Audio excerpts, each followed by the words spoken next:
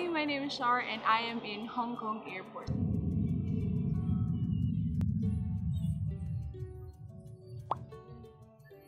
So I just landed. The flight from Manila to Hong Kong is like 1 hour and 45 minutes or even less than that. I'm not sure. I didn't really pay that much attention in the air flight itself. So um, because today someone paid me a visit. I'm not sure if I'm using this correctly, but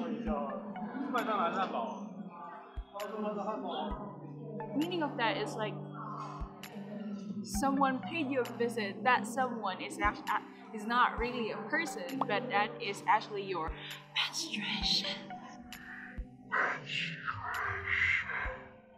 Blop blop blop blop blop blop blop blop blop blop blop blop blop blop blop blop blop blop blop blop blow.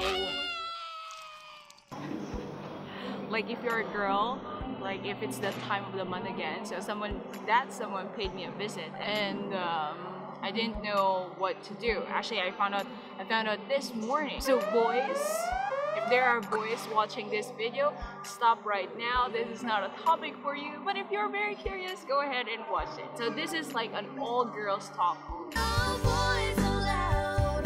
Can't you read the sign? No boys allowed. because this you don't have this kind of problem. Okay, so this video is entitled. Um, it's a working title. So my working title is like how to endure a flight when you're on your period. Okay, so there are at least like I thought of like five tips for you guys that I did just now because I just landed. So this is what I did. Number one, when traveling, always bring an empty water bottle for your water. And always make sure to ask for warm or hot water. I only found this out like a few months ago that when you're on your period, you're supposed to drink warm water, not cold water, because drinking cold water actually increase the pain of the cramps. Ever since I found that out, so I've been drinking warm water. Number two, always wear dark colored pants or skirt. The top two choices for me is like dark blue or black. That's the only top two choices. Like right now, I'm wear actually wearing like dark blue. You see?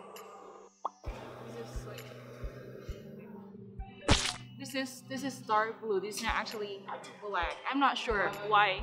Maybe it's like against the light, but this is dark blue. So why? Like you will be very very like thankful that you wore like dark colored pants, like dark blue or black. If like you get blood stain on your pants, it won't be that noticeable. To avoid, you know, embarrassment of having that shopao thing. Shopao thing. Okay, a shopao thing is like a joke in the Philippines, like when you wear white skirt and then you have like one red dot. That's like a shopao. Okay, number three, uh, bring a jacket. Okay, so if you're not wearing like a dark blue or black pants or shorts, and then suddenly you have like like a blood stain on your pants, so always have like a jacket so that you can like wrap around your waist so that it won't be that noticeable. So like you can just like do this.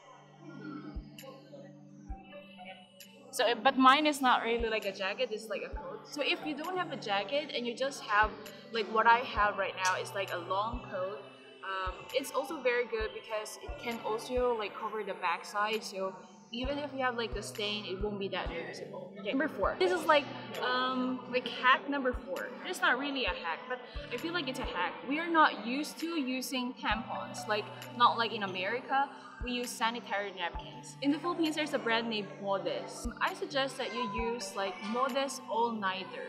Longer, wider, bigger, more absorbent, drier.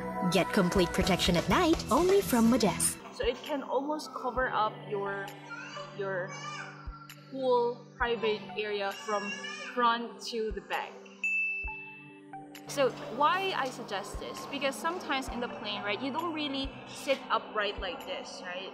Especially if it's like a long flight you don't really just sit like this. Sometimes you you slant like this like you do this right? You slant like that, or you you move around. So Modess All Night is actually very perfect if you like you like to slant when you're on the plane or when you just want to move I like to move it, move it. I like to move it, move it. You like to because it's cottony, it absorbs the blood very well, and you're not afraid at all. You don't have to worry if you will get like stain or it will leak because like I just like I told you, like it's covered from the front to the back. So that's like that's very very good brand. This is modess. This is like my number one sanitary napkin if I'm going to travel and I have and I'm on my period. Number five, change before you board. Why? Okay.